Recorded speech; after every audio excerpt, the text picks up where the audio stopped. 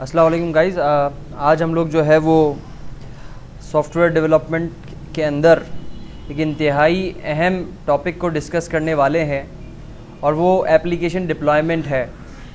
ज़्यादातर हमारे यहाँ जो मार्ट्स वगैरह में ऐप्स चल रही होती हैं, अमूमन वो डेस्कटॉप एप्लीकेशंस होती हैं, या फिर अगर कभी ज़िंदगी में आप डेस्कटॉप एप्लीकेशन बनाओगे तो ऑब्वियस सी बात है कि आप वो जो है सारा का सारा कोड किसी क्लाइंट को ऐसे ही थोड़ी दे दोगे खुला खुला तो पैकेजिंग होती है प्रॉपर मतलब फ़र्ज़ कर लें एक गाड़ी है तो गाड़ी के अंदर बेशुमार पार्ट्स लगे हुए हैं। ऐसे थोड़ी कि आप सारे पार्ट्स उठा के घर ले आते हो, फिर जोड़ते हो, फिर ये वो। आपको एक पूरा पावर पैक सोल्यूशन मिलता है गाड़ी की शक्ल में, और उसके अंदर दसों बेशुमार पुर्जे होते हैं। ठीक है? इसी तरह से आप किसी को जब सॉफ्टवेयर बना के दोगे तो ऑब्वियस सी बात है, उसमें वो ऐसे ही खुला जितने भी आपने फॉर्म्स बनाए हुए हैं सॉफ्टवेयर के अंदर या फिर जितने भी आपने चीज़ें डाली हुई है सॉफ्टवेयर के अंदर तो वो ऐसे ही उसको उठा के नहीं दे दोगे। इसको प्रॉपरली जो है वो पैकेज करोगे एक कंप्लीट फ़ाइल में जिसको एग्जी कहते हैं एग्जीक्यूटेबल फ़ाइल आपने देखा होगा विंडोज़ इन्वायरमेंट के अंदर एग्जीक्यूटेबल फ़ाइल होती है जिसके ज़रिए से ही सॉफ्टवेयर आपका जो है वो आपके पीसी में इंस्टॉल होता है। तो आज की इस ट्यूटोरियल में हम लोग जो है वो बेसिकली विजुअल स्टूडियो 2015 के ज़रिए किस तरीके से जो है वो हमारे पास एक एक नॉर्मल सॉफ्टवेयर या एक पूरी डेस्कटॉप एप्लीकेशन की जो है वो एग्जी बनती है, वो हम लोग देखेंगे। स्टार्ट करते हैं। कुछ चीज़ें हमारे पास यहाँ पर प्री रिक्विज़िट हैं और वो प्री रिक्विजिट चीज़ें क्या हैं कि जो कि हमारे पास होनी चाहिए विजुअल स्टूडियो में, वो मैं आपको दिखा देता हूँ। मैंने आप लोगों के लिए कुछ डाउनलोड करके रखा है, वो ये है वीएसआई बंडल ये कहाँ से आया? आपने गूगल पे जाके लिखना है visual studio installer project extension 2015 जो भी विजुअल स्टूडियो आपके पास है। देखें, ये एक्सटेंशन जो है, ये 2010 के बाद से आना शुरू हुई है। विजुअल स्टूडियो 2010 अगर आपके पास है तो उसमें पहले से ही ये चीज़ मौजूद होगी। 2012 है 2013 है 2015 है 2017 है, जितने भी ये विजुअल स्टूडियो हैं आगे के, उनके अंदर आपको ये एक्सटेंशन ऐड करनी पड़ेगी। तो गूगल पे आप जाकर ये लिखें तो आपके पास जो है वो लिंक आएगा। उस लिंक को आप ओपन करेंगे। ओपन करने के बाद जो है वो आपको डाउनलोड पे ले जाएगा और डाउनलोड हो जाएगी आपकी फ़ाइल और डाउनलोड होकर कुछ इस तरह से आएगी। इसको इंस्टॉल करने से पहले आप जो है वो विजुअल स्टूडियो बंद कर दें ताकि वो कॉन्फ्लिक्ट ना आए। इसको इंस्टॉल करते हैं सबसे पहले। ये वन टाइम एफर्ट है। ये आपको बार बार नहीं करना। ये बस एक दफ़ा इंस्टॉल हो जाएगा। तो विजुअल स्टूडियो के अंदर सेटअप बनाने के लिए जो ऑप्शंस रिक्वायर्ड हैं हमें, वो जो है वो अवेलेबल हो जाएँगे। एक बात, दूसरी बात ये कि सेटअप जो बनता है सेटअप की जो एग्जी होती है, वो दो से तीन तरीक़ों से बन सकती है। There are two three different ways एक तो आजकल जो है वो सबसे आसान और जब सबसे ईजी और फ्री है, वो सेटअप प्रोजेक्ट है जो कि अभी हम लोग ये कर रहे हैं। ठीक है? इसी तरह से एक और भी है जिसको इंस्टॉल शील्ड कहते हैं। ये एक बाकायदा पूरी कंपनी है और आपने गेम्स वगैरह में देखा होगा इंस्टॉल शील्ड से ही विज़िट पूरा स्टार्ट होता है जब आप इंस्टॉल कर रहे होते हैं। और उसके बाद जो है वो इंस्टॉलेशन उसके ज़रिए से हो रही होती है। तो वो भी इंस्टॉल शील्ड जो है वो इसका लाइसेंस आपको परचेज करना पड़ता है। आप वरना इसका जो है ट्रायल वर्जन यूटिलाइज कर सकते हो। ट्रायल वर्जन में लिमिटेड फीचर्स होते हैं। लाइसेंस काफ़ी महँगा है और वो कंपनीज़ ही परचेज करती हैं जिनको प्रोफेशनली सॉफ्टवेयर बनाना होता है। ठीक है? तो it requires twenty two M B only install it this is the U C message security message आप इसको यस करेंगे। It will take more than three four minutes और उसके बाद जो है वो इंस्टॉल जब ये हो जाएगा तो फिर हम लोग जो है वो विजुअल स्टूडियो खोल के हमारा जो uh, जो भी हमारा सॉफ्टवेयर है उसको हम लोग डिप्लॉय करेंगे। ठीक है गाइज़ राइट गाइज़ तो हमारा जो uh, ये इंस्टॉलर प्रोजेक्ट्स की एक्सटेंशन है ये सक्सेसफुली हो चुकी है। इसको क्लोज करें और विजुअल स्टूडियो ओपन करें आप।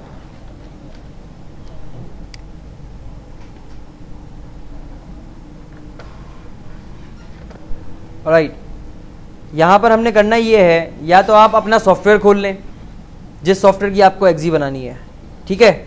या तो फिर आप एक फ्रेश प्रोजेक्ट बनाएँ, क्योंकि एक्जी जो बनती है, वो खुद भी एक प्रोजेक्ट होता है। सेटअप प्रोजेक्ट जो बनता है, वो खुद भी एक प्रोजेक्ट होता है, उसके अंदर आप अपने सॉफ्टवेयर को ऐड करते हो। तो to make it quite simple मैं अपना जो, जिस एप्लीकेशन पे हम अभी तक काम करते हुए आ रहे हैं, उसी को यूटिलाइज कर लेते हैं ग्रेडर वाली।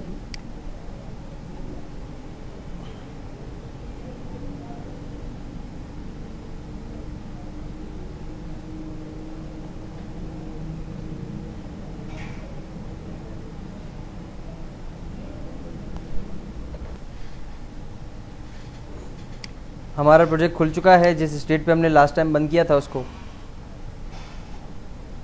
अच्छा कोलैप्स एवरीथिंग सब कुछ बंद कर दें यहाँ पर, इसको भी मिनिमाइज़ करें। अब यहाँ आप देखें, एक सॉल्यूशन है। सॉल्यूशन के अंदर आपका ये प्रोजेक्ट है ग्रेडर के नाम से। इस सॉल्यूशन के अंदर मैं राइट क्लिक करूँगा और ऐड करूँगा न्यू प्रोजेक्ट सही है? सॉल्यूशन पे राइट क्लिक किया मैंने। और उसके बाद आप जाएँगे स्क्रॉल करेंगे, नीचे अदर प्रोजेक्ट्स टाइप्स पर रहेंगे, इसको एक्सपेंड करें विजुअल स्टूडियो इंस्टॉलर पे जाएँ तो अब ये ऑप्शन यहाँ पे आपके सामने आ रहे हैं। ये इंस्टॉलर प्रोजेक्ट की वजह से आ रहे हैं, जो अभी अभी आपने फ़ाइल एक्सटेंशन इंस्टॉल की है डायरेक्टली ये नहीं आते। क्लियर है ये बात? और राइट उसके बाद जो है वो सेटअप प्रोजेक्ट आप सिलेक्ट करोगे। इसका नाम आप रख लें ग्रेडर सेटअप सही है? और लोकेशन इसकी ये है, आप चेंज करना चाहें तो कर लें। उसके बाद ओके तो मेरे सॉल्यूशन के अंदर एक और प्रोजेक्ट ऐड हो जाएगा ग्रेडर सेटअप के नाम से. और जैसे ही ये प्रोजेक्ट बनाया, आप देखें लेफ़्ट हैंड साइड पे भी कुछ पोर्शन आ रहा है राइट हैंड साइड पे भी कुछ पोर्शन आ रहा है. ये क्या कह रहा है? File system on target machine मतलब जब आपका सॉफ्टवेयर इंस्टॉल होगा तो उस वक्त फ़ाइल सिस्टम के ऊपर क्या मामला होंगे, वो आप यहाँ बताएँ. सही है? ये. और यहाँ पर, यहाँ से भी आप जो है वो फाइल्स को जो है वो मतलब यहाँ पर आप डेटा मतलब चीज़ें डालें और यहाँ पर आप जो है वो उनको प्रीव्यू करें। प्रीव्यू से मुराद यहाँ पर एक फोल्डर के अंदर क्या क्या है वो उसकी फाइल्स दिखा देगा यहाँ पे। इस फोल्डर में क्या क्या है, इसकी फाइल्स यहाँ राइट हैंड साइड पे दिखाया गई है। आ रही है बात समझ में? तो खैर, अभी एप्लीकेशन फोल्डर बाय डिफ़ॉल्ट ये मेरा वो मेन फोल्डर है, जहाँ पर आपका पूरा सॉफ्टवेयर का फोल्डर बनेगा। क्लियर है ये बात? हम जो भी सॉफ्टवेयर इंस्टॉल करते हैं तो सी ड्राइव में उसका फोल्डर बनता है ना? वो एम एस ऑफ़िस हो या एसक्यूएल सर्वर हो या कुछ भी हो, इसी तरह से जब आपका सॉफ्टवेयर इंस्टॉल होगा तो उसका भी फोल्डर बनेगा ऑब्वियस सी बात है। तो ये वो फोल्डर है एप्लीकेशन फोल्डर यहाँ तक क्लियर है? अब करना ये है कि आपने अपने ग्रेडर वाले ये, इस पर राइट क्लिक करना है और ऐड करना है प्रोजेक्ट आउटपुट ये पहला स्टेप है प्रोजेक्ट आउटपुट अब देखें ज़रा सॉल्यूशन के अंदर एक प्रोजेक्ट आपका एडिड है ऑलरेडी ग्रेडर के नाम से, जिसकी एग्जी बनानी है आपको। तो जब आप प्रोजेक्ट आउटपुट पर क्लिक करोगे तो ऑटोमेटिकली देख लें ग्रेडर प्रोजेक्ट सिलेक्ट हुआ हुआ है यहाँ पे, क्योंकि एक ही प्रोजेक्ट है इसमें। और इसमें आपने कुछ नहीं चेंज करना, बस ओके कर दें।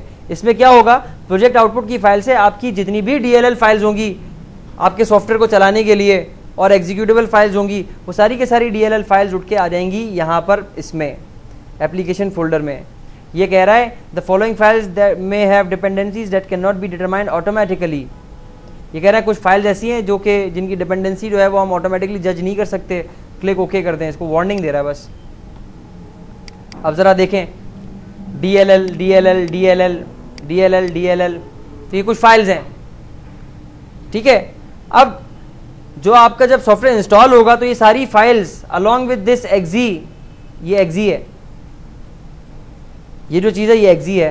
ये सारी के सारी फाइल्स जो हैं, ये भी वहाँ पर कॉपी पेस्ट हो जाएँगी। मतलब इंस्टॉल जब होगा, हो रहा होगा। अब जब आप सॉफ्टवेयर इंस्टॉल करते हैं ना तो एक बात ज़रा गौर से सुनिएगा। आप ये डीएलएल फाइल्स को छुपा के रखते हो। यूँ खुलेआम हर इंपॉर्टेंट डीएलएल्स भी हो सकती हैं आपके सॉफ्टवेयर के अंदर, जो कि आप नहीं चाहते कोई देखे। बात क्लियर है ये? तो उसके लिए आप क्या करते हो? राइट क्लिक करते हो। राइट क्लिक करते हो अपने सिस्टम पे मतलब यहाँ पर, अपने पूरे फ़ाइल सिस्टम पे। सही है? Right click add special folder और यहाँ से आप सिलेक्ट करोगे ग्लोबल असेंबली कैशे फोल्डर आ गया। ये फोल्डर टारगेट कंप्यूटर की बात हो रही है ये, जहाँ पर इंस्टॉल होगा, वहाँ पे ये फोल्डर लाजमी होगा। आप इस फोल्डर के अंदर जितनी डी हैं, आपकी कंट्रोल प्रेस करके सारी डी उठाएँ और ये वाली डीएलएल भी उठाएँ और इसको उठाएँ और यहाँ इसमें, बल्कि यहाँ से नहीं, इसको यहाँ से जो है वो, ये जितनी भी फाइल्स हैं, इनको हम दोबारा सेलेक्ट कर लेते हैं और यहाँ से इनको करते हैं कट और ग्लोबल असेंबली कैशे फोल्डर में राइट क्लिक करके यहाँ कर देते हैं पेस्ट अब मेरे एप्लीकेशन फोल्डर में सिर्फ़ क्या पड़ी हुई है? एक एग्जी पड़ी हुई है और एक ये कोई एक्स्ट्रा फ़ाइल है जो डिपेंडेंसीज में आती है। ठीक है भाई? यहाँ तक होने के बाद, अब ज़रा जो चीज़ हमने देखनी है, वो ये देखनी है। एक चीज़ का मैं आपको बता दूँ, ये जो फ़ाइल है log for net dot D L L ये सिर्फ़ सिक्सटी फोर बिट एक्जी के लिए है। अगर आप 32 बिट एक्जी बनाओगे ना तो ये फ़ाइल एरर दे देगी। ये बात समझ में आती है? तो इसका बेहतर सोल्यूशन ये है कि आप इसको राइट क्लिक करके जो है वो एक्सक्लूड करवा दें या फिर इसको जो है वो यूज़ ही ना करें। अभी हम लोग क्योंकि 64 बिट बनाएँगे तो फ़िलहाल इसको रहने देते हैं। जब एरर आएगा तो इनशाला वो भी हम देख लेंगे। अगर 32 बिट के ऊपर कोई मामला हुआ। अब दूसरा काम हमने क्या करना है? दूसरा काम हमने ये करना है कि ये जो हमारी एग्जी एग्जी फ़ाइल है, इस एग्जी फ़ाइल का एक शॉर्टकट क्रिएट करना है। उसके लिए हमें राइट क्लिक करना पड़ेगा। क्रिएट शॉर्टकट ठीक है? क्रिएट शॉर्टकट और इस शॉर्टकट का नाम रख दें ग्रेडर ओके ये आ गया। अब इस ग्रेडर की प्रॉपर्टीज़ पे जाएँ तो प्रॉपर्टी विंडो के अंदर आप देखें, यहाँ पर कुछ चीज़ें आ रही हैं। यहाँ पर मुझे जो चीज़ देखनी है फ़िलहाल वो है आइकन फॉर दैट पर्पज मुझे अपनी एप्लीकेशन का आइकन भी एक बनाना पड़ेगा तो वो आइकन जो है वो हम लोग उठाते हैं। तो गाइज़ हमारे पास जो है वो आइकन यहाँ पे बना हुआ है, और आइकन जो है उसकी एक्सटेंशन आप यहाँ ज़रा देख लें डॉट आई होनी चाहिए। आप कोई भी ऑनलाइन टूल यूज़ कर सकते हैं फ्री में अवेलेबल हैं, किसी भी इमेज को आप आइकन बनाना चाहते हैं तो इस तरह से जो है वो आइकन फ़ाइल जो है वो बन जाएगी आपके सामने। यहाँ तक कोई प्रॉब्लम ठीक है, अब इस आइकन फ़ाइल को हम कहाँ लेके जाएँ? इसको मैं यहाँ से कट कर रहा हूँ और कट करने के बाद documents documents visual 2015 projects grader grader वाला जो मेरा प्रोजेक्ट है, ये वाला। ठीक है ग्रेडर इसके अंदर बिन बिन के अंदर डिबग और यहाँ पर देखें, मेरे पास वो एग्जी वगैरह वाले फोल्डर आ रहे हैं। बेहतर ये है कि आप इस, इसको यहाँ पर बना लें, बिन के फोल्डर में, इमेजेस के नाम से एक फ़ोल्डर बना लें, ऐसे ही, ताकि आपकी सारी की सारी इमेजेस एक ही डायरेक्टरी में रहें, सिंपल, और यहाँ पर आप इसको पेस्ट कर दें, ठीक है? यहाँ से हम इसको फिर उठा लेंगे बाद में। अब हम अपने, ये क्योंकि मेरी डिप्लॉयमेंट की जो है वो जगह है तो यहाँ पर मैं राइट क्लिक करूँगा ऐड फ़ाइल ऐड फ़ाइल और उसके बाद documents 2015 projects grader bin images. ये मैंने इमेज का फोल्डर यहाँ इसलिए बनाया ताकि आप अपनी सारी इमेजेस जो भी सॉफ्टवेयर में यूटिलाइज कर रहे हैं ना, एक ही जगह से मिले आपको। बस और कुछ भी नहीं है। तो भाई मेरे पास देखें एक्जी के साथ साथ अब आइकन फ़ाइल भी यहाँ पे आ गई है। आ गई है आइकन फ़ाइल अब जो मेरा शॉर्टकट है, इस शॉर्टकट के ऊपर प्रॉपर्टीज़ पे जाकर मैं अपनी आइकन फ़ाइल पर आइकन लगा दूँगा। डबल क्लिक करें अपने एप्लीकेशन फोल्डर को, देखें आइकन फ़ाइल आ रही है, इसको ओके कर दें। ठीक है? ये आ गया आइकन आपका ओके तो मेरे ग्रेडर पे आइकन लग चुका है। कोई प्रॉब्लम अब तक? अब ये आइकन कहाँ शो होना चाहिए? जब आपका सॉफ्टवेयर इंस्टॉल हो जाएगा तो डेस्कटॉप पे बाय डिफ़ॉल्ट आइकन आता है। तो इस आइकन को आप उठाएँ और यूज़र डेस्कटॉप के फोल्डर में डाल दें। क्लियर है? तो जब भी सॉफ्टवेयर इंस्टॉल होगा यूज़र डेस्कटॉप पे बनेगा ये। एक बात। दूसरी बात राइट क्लिक करें, एक और आइकन बनाएँ। ग्रेडर के नाम से। शॉर्टकट बनाया। बल्कि मैंने यहाँ पे वेट इसको यहाँ से रिमूव करते हैं। वो सही से हुआ नहीं। ये जो है, इसकी प्रॉपर्टीज़ पे जाते हैं। इमेज लगी हुई है, इस पर नहीं लगी हुई। एक बार पहले इसको सही से कर लें। आइकन फ़ाइल कहाँ गई? अच्छा वो एक्चुअली प्रॉब्लम ये हो गई। मैंने नाम सेम रखा हुआ था इमेज का भी और उसका भी तो वो आइकन फ़ाइल जो है वो रिमूव कर दी मैंने गलती से। Right click add file documents project grader bin images ये आ गई नहीं यहाँ पे। अब इसके ऊपर हम लोग लगाते हैं आइकन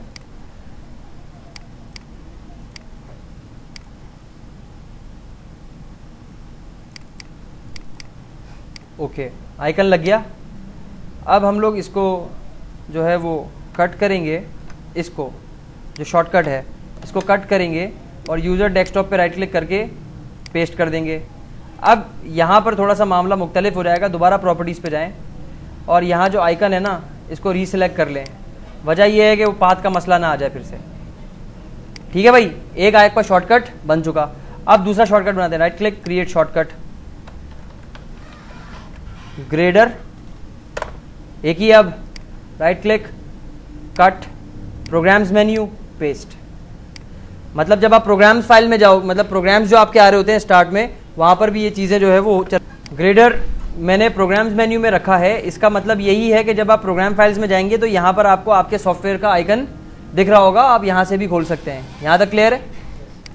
तो इसके ऊपर भी राइट क्लिक करके प्रॉपर्टीज़ पे जाएँ, इसके आइकन पे जाएँ और इसको यहाँ से ब्राउज करें। Application folder icon. ओके। तो भाई यहाँ पे भी आइकन लग चुका मतलब और यहाँ पर डेस्कटॉप पे भी आइकन लग चुका एनी प्रॉब्लम अब अगर आपके प्रोजेक्ट में रिपोर्ट्स भी हैं क्रिस्टल रिपोर्ट्स जो कि चलते हुए आ रहा है तो एप्लीकेशन फोल्डर एक्जी है, जहाँ पर आपकी एक्जी जमा होगी। और आपने अगर देखें, यहाँ गौर करें, ये जो ग्रेडर का आपका प्रोजेक्ट है, इस ग्रेडर के प्रोजेक्ट के अंदर क्रिस्टल रिपोर्ट्स के लिए आपने रिपोर्ट्स का फोल्डर यहाँ एक्जी वाले ही फोल्डर में बनाया हुआ है, ये रही एक्जी ठीक है? तो यहाँ पर ही रिपोर्ट्स का फोल्डर बनाया हुआ है ना? तो इसी तरीके से आप विजुअल स्टूडियो में एप्लीकेशन फोल्डर जो आपकी एग्जी वाला फोल्डर है, इसमें राइट क्लिक करें ऐड फोल्डर और इसका नाम रख दें रिपोर्ट्स इससे ये होगा, जब आपकी एप्लीकेशन इंस्टॉल हो रही होगी तो आपकी एप्लीकेशन का जो मेन फोल्डर होगा, उसमें रिपोर्ट्स का फोल्डर भी बनेगा. ठीक है? नहीं नहीं स्पेलिंग सेम रखना, क्योंकि आपने अपनी एप्लीकेशन में कोडिंग में पाथ यही दिया होगा ना भाई? हर ये बात समझ में? तो अब अब क्या करें? अब दूसरा मरहला ये है कि आप रिपोर्ट्स पे राइट क्लिक करें ऐड फ़ाइल और कौन सी फ़ाइल ऐड करें? डॉक्यूमेंट्स में जाएँ और अपनी जो क्रिस्टल रिपोर्ट्स हैं, उनको आप उठाकर यहाँ पेस्ट कर दें. ग्रेडर बिन डिबग रिपोर्ट्स यही रिपोर्ट है? एक रिपोर्ट तो मेरी ये है, मैंने यहाँ दे दी.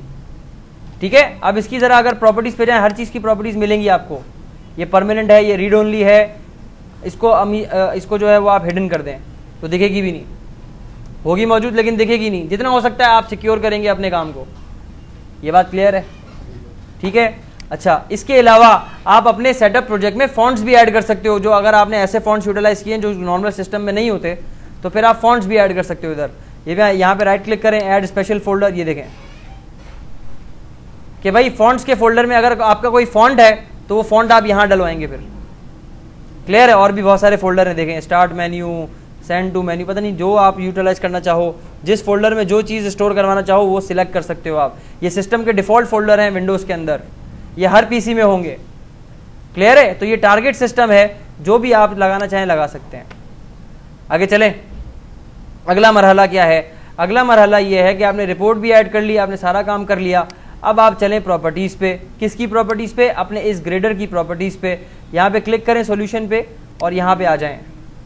ये प्रॉपर्टीज़ ऐसे नहीं आती डायरेक्टली अक्सर आप लोग कंफ्यूज हो जाएँगे कि यार ये क्यों नहीं आ रही, ये विंडो क्यों नहीं आ रही, ये प्रॉपर्टीज़ वाली विंडो क्यों नहीं आ रही? ठीक है तो कैसे आएगी ये? पहले सेटअप पे क्लिक करें अपना जो जो आपका एग्जी वाला सेटअप है, और उसके बाद प्रॉपर्टीज़ पे क्लिक करें तो ये विंडो आएगी। ठीक है? अच्छा भाई एड रिमूव प्रोग्राम आइकन ज़ाहिर सी बात है आपका सॉफ्टवेयर इंस्टॉल होगा तो एड रिमूव प्रोग्राम्स में भी तो शो होना चाहिए ना। तो उधर आइकन क्या होगा? वो आइकन यहाँ से सिलेक्ट करो। ब्राउज और एप्लीकेशन फोल्डर में मेरा आइकन पड़ा हुआ है। ये आइकन देखो, हर जगह इस्तेमाल होगा। एनी प्रॉब्लम उसके बाद ऑथर यहाँ पे आप दे दें A cube I T solutions फिर उसके बाद उसके बाद यहाँ पर जो है वो बैकवर्ड कंपेटेबिलिटी को अभी छोड़ दें। डिस्क्रिप्शन आप अपने सॉफ्टवेयर के बारे में जो देना चाहते हैं तो वो आप दे दें। Grader is a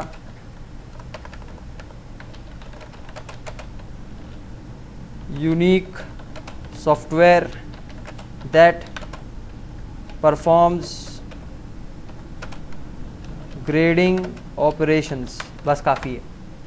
उसके बाद डिटेक्ट न्यूअर वर्जन सॉफ्टवेयर है तो ऑब्वियस बात है, उसमें वर्जनिंग भी होगी। और जब वर्जनिंग होगी तो फिर यहाँ पर ये ऑप्शन लगा है डिटेक्ट न्यूअर वर्जन अगर आप पुराना वर्जन इंस्टॉल कर रहे हैं तो नया वर्जन अगर पहले से हुआ हुआ हो इंस्टॉल तो ये एरर दे दे कि भाई ऑलरेडी नया वर्जन इंस्टॉल हुआ हुआ है। तो ये ट्रू पे रहने दें। इंस्टॉल ऑल यूज़र्स सारे यूज़र्स इसको इंस्टॉल करने के अहल हैं, या फिर कोई जो है वो एडमिनिस्ट्रेटर वगैरह ही अहल हैं। तो इंस्टॉल ऑल यूज़र्स ट्रू कर दें कि सब इंस्टॉल कर सकें। फिर कीवर्ड्स वगैरह कुछ देना चाहते हैं, दे दें। लोकलाइजेशन आपने जो है वो थर्ड सेमेस्टर में जो है वो पढ़ी होगी। वो लोकलाइजेशन में क्या होता है? लैंग्वेज स्पेसिफिक सॉफ्टवेयर कि भाई अगर सिस्टम की लैंग्वेज जो है वो अरबिक है तो अरबिक में हो जाए सॉफ्टवेयर उर्दू है तो उर्दू में हो जाए। वो जो है वो फ्रेंच है तो फ्रेंच में हो जाए। खैर इसको तो अभी हमें नहीं छेड़ना मैनुफैक्चरर यहाँ पर भी कुछ दे दें, आप अपनी कंपनी का नाम, आपकी कोई वेबसाइट है, वो वेबसाइट दे दें यहाँ पर। Pre build and post build event इसका मतलब पोस्ट बिल्ड का मतलब ये है सॉफ्टवेयर इंस्टॉल होने के बाद कोई इवेंट आपने एग्जीक्यूट करवाना या नहीं करवाना। और प्री का मतलब ये है सॉफ्टवेयर इंस्टॉल होने से पहले कोई इवेंट एग्जीक्यूट करवाना या नहीं करवाना। अभी हम लोग को ज़रूरत नहीं है। ये आपका प्रोडक्ट का कोड है, जो ऑटो जनरेटेड कोड है। ठीक है? ये हर दफ़ा बदलेगा जब जब आप अपने सॉफ्टवेयर का वर्जन बदलोगे। वो कैसे होगा, वो भी बताता हूँ। और आपके प्रोडक्ट का नाम क्या है? मैंने कहा ग्रेडर नाम है। जब आप एक सॉफ्ट ये इंस्टॉल कर रहे होंगे तो क्या प्रीवियस वर्जन को पहले रिमूव करना है? मैंने कहा जी हाँ यस इसको प्रीवियस वर्जन को रिमूव कर दें। और उसके बाद ये सर्च पाथ छोड़ें अभी सब्जेक्ट भी छोड़ दें अभी सपोर्ट यूआरएल फ़ोन नंबर यहाँ पर आप अपना फ़ोन नंबर दे दें अपनी कंपनी का जो भी है आप जो दिखाना चाहते हैं वो दे दें। लेट से यहाँ पर अभी मैं दे देता हूँ अपना नंबर उसके बाद यू uh, में भी कुछ दे दें target platform this is the very important thing यहाँ पर टारगेट प्लेटफॉर्म के अंदर 86 जो आ रहा है, ये क्या चीज़ है? ये आपके पास 32 बिट है। अगर आपका सिस्टम 32 बिट के लिए आप एक्जी बनाना चाहते हो तो यहाँ से 86 सेलेक्ट करोगे। अगर 64 बिट है तो फिर ये। और एक और भी जो है, वो आर्किटेक्चर होता है, जिसको आइटेनियम कहते हैं। अगर वो है तो वो, इसके बारे में मुझे इतनी ज़्यादा नॉलेज नहीं है, लेकिन ये भी एक कंप्यूटर हार्डवेयर स्ट्रक्चर है। जिस तरह 64 बिट है 32 बिट है आइटेनियम भी है। तो अमूमन ये ऊपर वाले दोनों ही चल रहे होते हैं। ठीक है? I think I should remove my phone number ये पब्लिक हो जाएगा, वरना फिर मसला है। अब तो खैर रिकॉर्ड हो गया, छोड़ें। अच्छा टाइटल टाइटल में ग्रेडर ही रहने दें, ये अपग्रेड कोड है। इसको छेड़ने की ज़रूरत नहीं है। बाय डिफ़ॉल्ट आपका ये प्रोजेक्ट का वर्जन 1.0.0 है। आप जो देना चाहें दे दें भाई, ये पहला वर्जन है। अमूमन यही होगा पहला। सही ये सब करने के बाद जब आपकी ये सारी सेटिंग हो गई, अब आप अपने इस ग्रेडर पर राइट क्लिक करें और इसको कर दें बिल्ड तो अब जो है वो आपके सॉफ्टवेयर की पैकेजिंग स्टार्ट होना शुरू हो गई है। अब ज़रा देखिएगा, आपके सॉफ्टवेयर में जो जो चीज़ें आपने यूटिलाइज की हुई है ना, वो सब यहाँ पे पैक हो रही होंगी। जो है वो बंडल हो रही होंगी। पैकेजिंग फ़ाइल जो जो चीज़ें रिक्वायर्ड थी वो सब हो गई। छोटा सा हमारा ये प्रोजेक्ट था तो इसलिए जल्दी हो गया ये। सही है? अब क्या करें? अब हम लोग ये करेंगे राइट क्लिक करें। अगर आपने इस एक्जी के पास जाना है तो आप ओपन फोल्डर कर दें इसका, ठीक है? डायरेक्ट एक्जी पे चले जाओगे, वरना डायरेक्ट यहाँ से इंस्टॉल भी कर सकते हो। यहीं से इंस्टॉल कर लें, यहीं से अनइंस्टॉल कर लें, मर्ज़ी आपकी। तो फ़िलहाल फोल्डर में जाके देख लें। फोल्डर के अंदर भी इसी तरह से डीबग और रिलीज़ का होता है। डीबग के अंदर जाएँ, ये रही आपकी exe this is your application setup जिस पर डबल क्लिक करने से ये इंस्टॉल होगा। नेक्स्ट नेक्स्ट नेक्स्ट वाला सेटअप आएगा और आपकी कंट्रोल पैनल में भी शो हो रहा होगा। यहाँ से इंस्टॉल कर लें डबल क्लिक करके। या फिर यहाँ पर राइट क्लिक करके इंस्टॉल कर लें। एक ही बात है। जी। वो दोनों में से कोई भी एक कर लें आप। सही है कोई मसला नहीं है। अच्छा तो ये आपका सेटअप स्टार्ट हो चुका है। नेक्स्ट करें। जगह दें कहाँ पर आपने जो है वो इसको सेव करना है इंस्टॉल करना है और उसके बाद नेक्स्ट करें। अब देखें, क्योंकि हम लोग अभी, हम हम लोग कोई पब्लिशर नहीं है और पब्लिशिंग पब्लिशर जो लिखे हुए आ रहे होते हैं, जो कंपनीज़ होती हैं, बड़ी बड़ी मल्टीनेशनल उनके नाम यहाँ लिखे हुए आ रहे हैं, जिसका नाम यहाँ पे अननोन लिखा हुआ आ रहा है। जब आप लाइसेंस परचेज करने जाओगे तो थाउजेंड्स ऑफ़ डॉलर्स का ये पब्लिशर का लाइसेंस होता है। तो खैर इस छोटे लेवल के ऊपर हमें इसकी ज़रूरत नहीं है। इग्नोर इट येस कर दें इसको। आपका सॉफ्टवेयर इंस्टॉल हो चुका है क्लोज करें डेस्कटॉप पे जाएँ। आप गौर करिएगा, यहाँ पर आपके सामने ये तो हमारा आइकन है, इसको रिमूव कर लें। ये रहा, ग्रिडर। तो डेस्कटॉप पे आइकन भी बना हुआ आ गया हमारे सामने, जब आप इस पर डबल क्लिक करोगे तो आपका सॉफ्टवेयर चलना शुरू हो जाएगा, जैसे कि नॉर्मल दूसरे सॉफ्टवेयर भी चलते हैं। ठीक है, ज़रा कैलकुलेशन भी करके देख लेते हैं।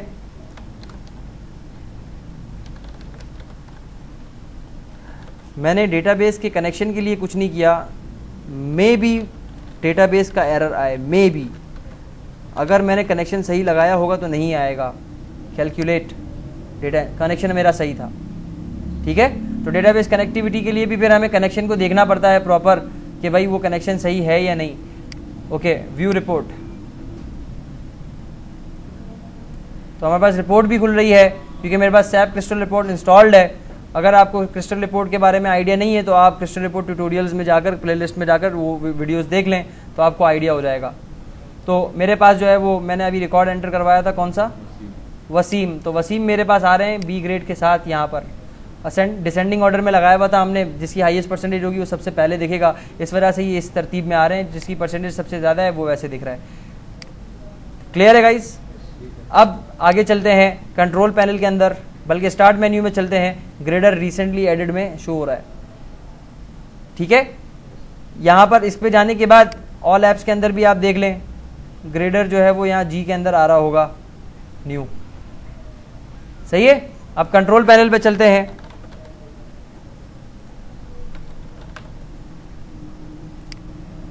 और कंट्रोल पैनल के अंदर अनइंस्टॉल अ प्रोग्राम यहाँ सर्च कर लें ग्रेडर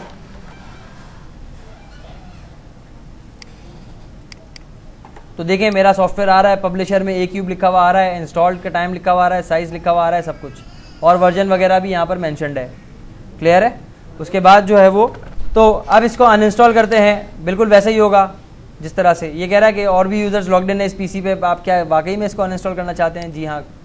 ओके तो मेरा जो सॉफ्टवेयर है, वो अनइंस्टॉल इस तरह से हो जाएगा। एक और चीज़ भी मुझे दिखानी है, इसके लिए मुझे दोबारा सॉफ्टवेयर इंस्टॉल करना पड़ेगा। तो ज़रा कर लेते हैं उसको फटाफट।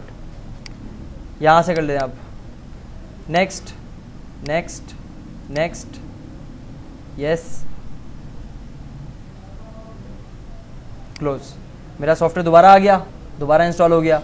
अब आप जो है वो एक चीज़ जो मुझे दिखानी थी, वो ये दिखानी थी कि सी ड्राइव में चलते हैं। सी ड्राइव के अंदर प्रोग्राम फाइल्स में चलते हैं, जिस, जो 64 बिट है। और यहाँ पर देखें ए क्यूब के नाम से फोल्डर बना हुआ आ गया। और यहाँ देखें, इसके अंदर ग्रेडर मैंने कहा था जो मेन फोल्डर होता है, वो फोल्डर आ गया। और उसके अंदर मेरी एग्जी आ रही है। मेरी कोई डीएलएल फ़ाइल यहाँ नहीं दिख रही। ठीक है? और रिपोर्ट्स के अंदर मेरी रिपोर्ट नहीं दिख रही, क्योंकि मैंने उसको हिडन रखा था। क्लियर है ये बात?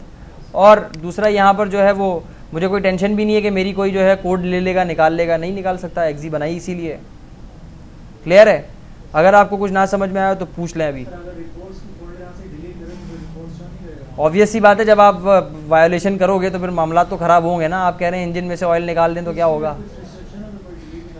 तो भाई आप हाइड करवा दो ना इसको।